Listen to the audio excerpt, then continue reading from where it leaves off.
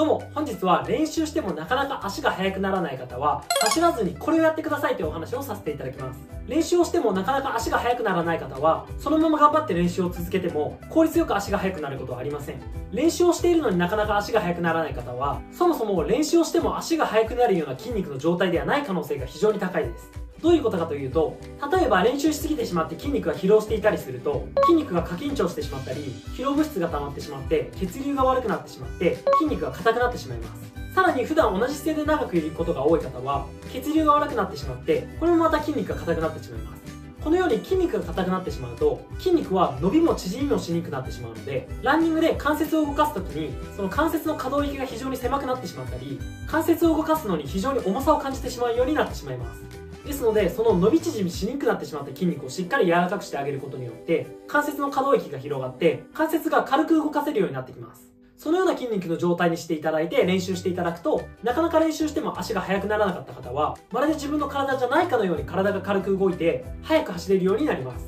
さらに筋肉の疲労が溜まっている場所が太ももの前などランニングにおいてはブレーキをかける筋肉。そこに疲労が溜まってしまっているとスピードを出していく時に非常に重要なお尻や太ももの後ろのハムストリングスそれらの筋肉が使いにくくなってしまいます。でそのようにももの前が張っている状態で練習をしてしまうとお尻やももの後ろが使えずに反対にどんどんどんどんももの前を使って走るようになってしまいます。ですのでしっかりももの前優位の走りを変えてお尻やももの後ろがしっかり使いやすいような筋肉の状態にしてあげることによってブレーキをかけずに体を前に進める筋肉を優位に使って走れるようになります。でそのようにするためにはお尻やももの後ろの筋肉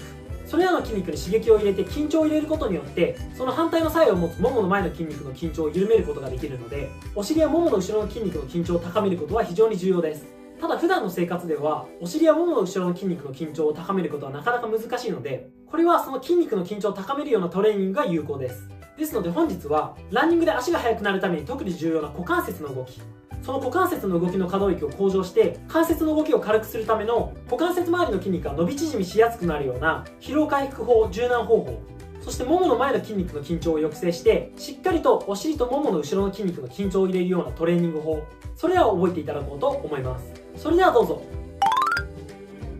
まずは足踏みを行いももの重さを感じてみてください。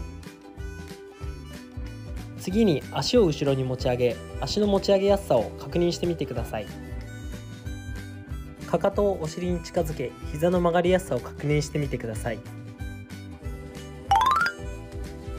片膝をつき片膝を立て腰の前に骨の出っ張りがあるのを感じます。骨の出っ張りの高さで親指を骨盤の横にかけ残りの指をお腹にめり込ませます。親指と残りの指で骨盤を挟むようにし反対の4本の指も重ねます。両方の指をお腹に深く入れたまま立てている膝の方に体を少し向け腰を前にスライドさせるようにしながら股関節を深く曲げていきます。股関節を深く曲げると手がお腹とももに挟まれ指がより深くお腹にめり込みます。指をお腹に深く入れたまま腰を前後に10回スライドさせマッサージを行います。10回終わりましたら反対も同様に10回行ってみてください。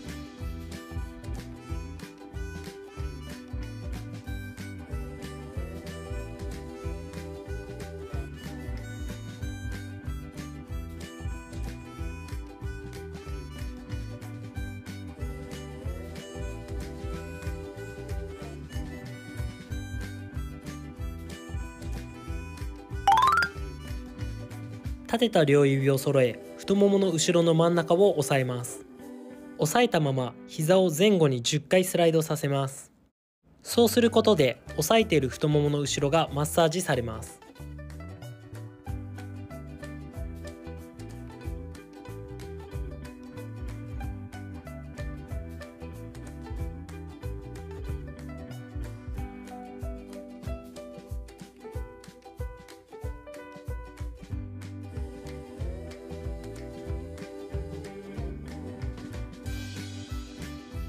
10回終わりましたらより股関節に近い太ももの後ろを押さえます。押さえたまま再び膝を前後に10回スライドさせます。先ほどよりも股関節に近いハムストリングスがマッサージされます。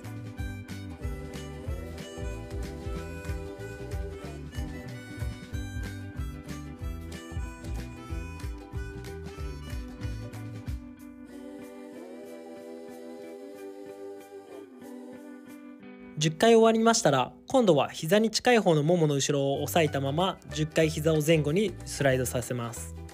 より膝に近い方のハムストリングスがマッサージされます。ももの後ろの真ん中股関節より膝よりこの3点をマッサージします。10回終わりましたら反対も同様に10回マッサージを行います。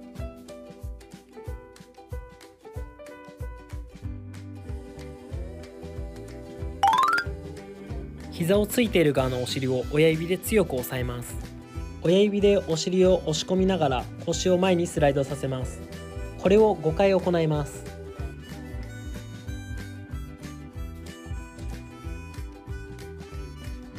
親指が辛い方は人差し指を丸め第一関節と第二関節の間でお尻を押します。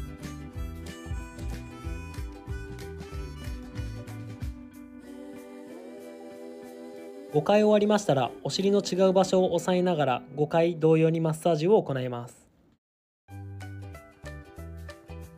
このマッサージを場所を少し変えながら5箇所から7箇所行います。5箇所から7箇所終わりましたら反対も同様に行います。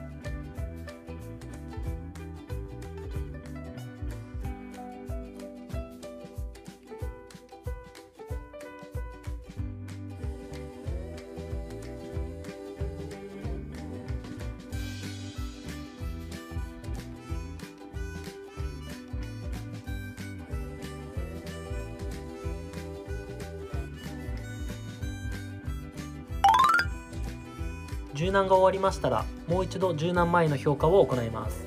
柔軟後はよりももが軽く持ち上がるのを感じてみてください。また足が軽く後ろに持ち上がりやすくなるのも感じてみてください。膝も軽く曲がりやすくなるのを感じてみてください。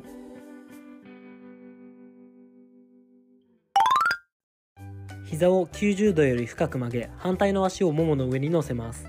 両手を胸の前に置きお尻を20回持ち上げ下ろします。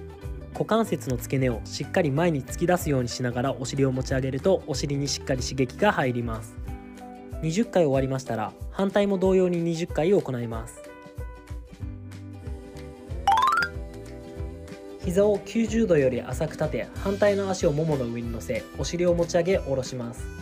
これを10回行います。10回終わりましたら反対も同様に10回行います。